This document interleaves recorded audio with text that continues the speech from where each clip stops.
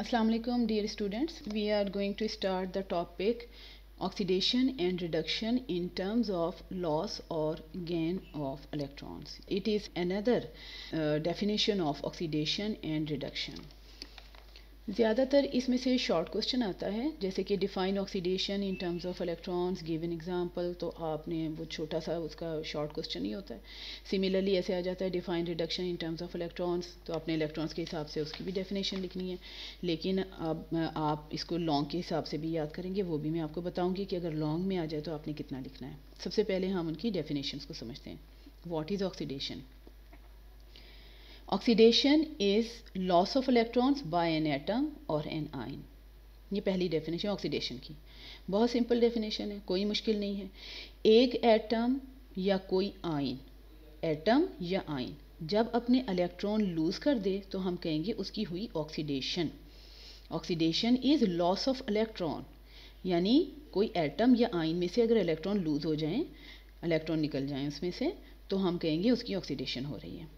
Example for example zinc is uh, oxidized by losing two electrons and it becomes zinc ion similarly ferrous ion becomes ferric ion by losing one electron zinc जो है वो दो electron lose कर देता है zinc आइन में convert हो गया तो ये ऑक्सीडेशन है फेरस आइन यानी F E plus two ferrous ion जो है वो अपना एक इलेक्ट्रॉन और लूज़ कर देता है तो फे, फेरिक आइन में कन्वर्ट हो जाता है। तो ये जो है ना ये दोनों ऑक्सीडेशन की एग्जांपल्स हैं। Now the definition of reduction reduction की डेफिनेशन बिल्कुल उसकी अपोजिट हो गई कि reduction is gain of electrons by an atom और आइन जब कोई एटम या आइन इलेक्ट्रॉन गेन करता है तो वो कहलाती है रिडक्शन कोई एटम या आइन जो है इलेक्ट्रॉन गेन कर ले। For example hydrogen ion two hydrogen ions gain two electrons to form hydrogen gas एक हाइड्रोजन आइन एक इलेक्ट्रॉन गेन करेगा हाइड्रोजन एटम बनेगा। दो हाइड्रोजन आइन दो इलेक्ट्रॉन गेन करेंगे तो दो दो हाइड्रोजन एटम बनेंगे, वो आपस में कंबाइन होके तो हाइड्रोजन गैस का मॉलिक्यूल बना लेंगे। दूसरी रिएक्शन देखिए chlorine chlorine gas gains two electrons to form two chloride ions तो क्लोरीन गैस के दोनों जो एटम्स हैं, वो दोनों एटम्स इलेक्ट्रॉन्स एक एक इलेक्ट्रॉन गेन करेंगे। इस तरह से दो क्लोराइड आइन बना लेंगे। तो ये उसकी हो गई डेफिनेशन शॉर्ट क्वेश्चन में आए तो आप इतना इतना ही लिखेंगे जितनी मैंने आपको ये स्लाइड पे नज़र आ रहा है। लेकिन अगर लॉन्ग क्वेश्चन आ जाता है तो आपने ये दोनों ऐसे ही एग्जांपल्स के साथ लिख के आपने एक और एक्सप्लेनेशन विद एग्जांपल भी आपने वो लिखनी है। वो भी अब आपको मैं बताती हूँ। हम एक और एग्जांपल को देखते हैं। For example formation of sodium chloride जब सोडियम मेटल और क्लोरीन गैस आपस में रिएक्शन करते हैं तो सोडियम क्लोराइड बनता है। ये रिएक्शन आप आयोनिक बॉन्ड में भी देख चुके हैं। सोडियम एटम पहले, सबसे पहले क्या होगा कि sodium atom loses an electron to form sodium ion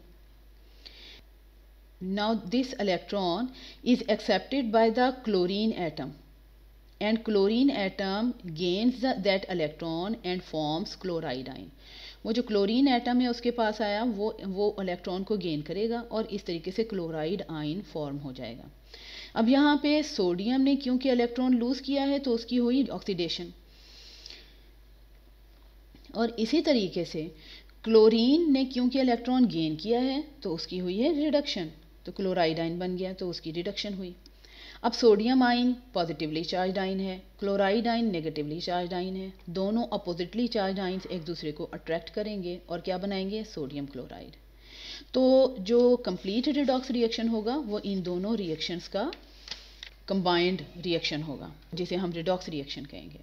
और वो कैसे होगा कि sodium plus chlorine forms sodium ion and chloride ion and these sodium ion and chloride ion attract each other to form sodium chloride लेकिन हमें ये मालूम है अच्छी तरह से कि क्लोरीन एटम जो होता है वो एग्जिस्ट नहीं करता बल्कि क्लोरीन हमेशा क्लोरीन मॉलिक्यूल की फॉर्म में ही एग्जिस्ट करता है तो जो कंप्लीट रिएक्शन है वो किस तरह से होगा two sodium atoms react with one molecule of chlorine gas and they form two sodium ions and two chloride ions and they attract each other to form two formula units of sodium chloride. तो ये इसका redox reaction हुआ और इसमें sodium की हुई oxidation और chlorine की हुई रिडक्शन